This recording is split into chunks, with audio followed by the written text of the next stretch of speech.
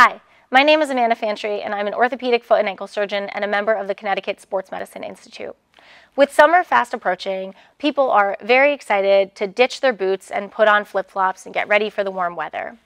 Be sure that when you're choosing a shoe for the summer, that you are not spending the entire summer in poorly padded flip-flops as they can lead to symptoms and problems including plantar fasciitis and stress fractures, particularly if you spend a lot of time in them.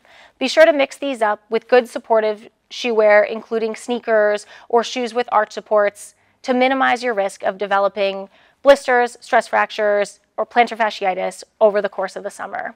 Be well and stay safe.